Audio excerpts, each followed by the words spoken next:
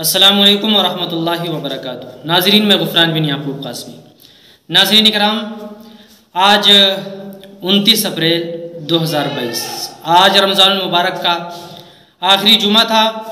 बहुत सारे इलाके में ऐसा होता है कि खुतबा से पहले उर्दू अशार पढ़ते हैं और इस पढ़ने को वाजिब समझते हैं।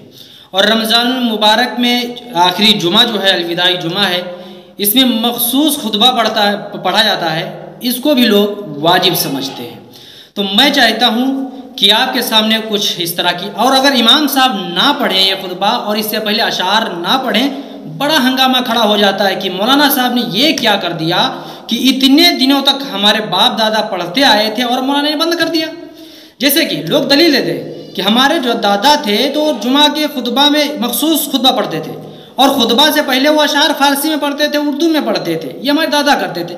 ये बताइए आपके दादा कितने बड़े मुफ्ती थे? कितने बड़े अलामा थे? कितने बड़े मौलाना थे? तो शरीयत में बाप दादा की दलील नहीं चलेगी। और अगर आप इतने शरीयत के बहुत बड़े पाबंद बनते हैं, बताइए रमज़ान मुबारक के कितने रोज़े आपने रखे? जबकि पूरे रमज़ान मुबारक के रोज़े रखना फ़र्ज़ है। कितने रोज़े आपने रखे? और जुमा जो मखसूस जुमा में खुतबा साबित कर रहे हैं, इसको इमाम साहब ना पढ़े तो बड़ा हंगामा खड़ा कर देते। चलिए शब कद्र कल 28 अप्रैल थी 28 अप्रैल 2022 शब कद्र उसमें सत्ताईसवीं रात तो ये तो ये समझ ली पूरी दुनिया जगती है, उसमें इबादत करती है, अपने गुनाहों से अल्लाह की, अल्लाह से मगफरत चाहती है, माफ़ी चाहती है। आप बताओ, आपने उस रात में जग के कितना क्या किया, कितने अमाल किए, कितनी नमाजें पढ़ी, अल्लाह से कितनी मगफरत की दुआ की आपने। इस पर कोई तवज्जो नहीं, जो चीज़ें शिरक हैं, जो चीज़ें बिदात हैं जो चीज़ें खुराफात हैं, वो हमारी ज़िंदगी में दाखिल हो गई हैं और हम उनको वाजिब समझ रहे हैं, फ़र्ज़ समझ रहे हैं। अगर इमाम साहब ना करें तो बहुत बड़ा बवाल हो जाता है, बहुत बड़ा हंगामा हो जाता है। मैं इसी पर चाहता हूँ कि दो फतवे आपके सामने पेश कर दिए जाए। एक दारुल देवबंद का फतवा पेश कर दिया जाए और एक भाई बरेली शरीफ का पेश कर दिया जाए। दोनों फतवे पेश कर दिए जाए ताकि ऐसा ना हो कि हाँ भाई देवबंद का फतवा पेश कर दिया गया, बरेली का ना पेश किया गया। तो ठीक है, मैं सबसे पहले आपके सामने देवबंद का फतवा रखता हूँ, देखिएगा। कि देवबंद में किसी साहब ने एक सवाल किया था। वो सवाल है कि, देख लीजिए मैं स्क्रीन पर लगा रहा हूँ। अगर आप पढ़े लिखे हैं तो खुद पढ़ लीजिए, नहीं पढ़े लिखे हैं तो किसी से पढ़वा लीजिए। जो थोड़ा बहुत उर्दू जानता है, उर्दू में मैं लगा रहा हूँ। रमज़ान मुबारक के आखिरी जुमे की नमाज़ में अलविदाई खुतबा पढ़ना बेहतर है या कोई भी? तो दारूम से जवाब आया कि, अलजवाब बिल्ला तोफ़ी बिसमीम अलविदाई खुतबा पढ़ने की कोई ख़ास फजीलत नहीं है। कोई भी खुतबा पढ़ा जा सकता है वल्लम बिस्वाब ये दारूम देवबंद साहब अच्छा भाई, अब चलिए, आपको हम ले चलते हैं भाई बरेली शरीफ। थोड़ा बरेली शरीफ का भी आपके सामने फतवा रख दिया जाए। देखिए स्क्रीन पर मैं लगा रहा हूँ, आप देख सकते हैं।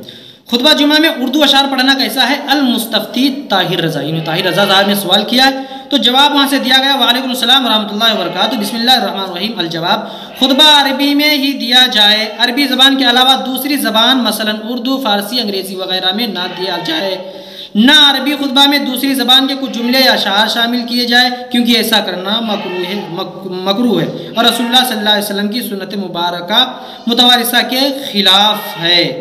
जी, और आगे बता रहे हैं यूँ ही खुतबा में अशार पढ़ना भी नहीं, ना चाहिए। अगर चे अरबी ही के हों। अगर कभी कोई पढ़ ले तो हरज नहीं। तो जी हाँ ये जो बरेली शरीफ का फतवा है तो इसमें बता रहे हैं कि अगर कभी कोई पढ़ ले तो हरज भी नहीं। अगर अगर कोई पढ़ भी ले तो गुना भी नहीं है। और अगर ना पढ़ा जाए तो उस पर हंगामा खड़ा कर देना कि भैया हमारे बाप दादा पढ़ते थे, इतने दिनों से हमारी मस्जिद में ये सब पढ़ते हुए आ रहे हैं।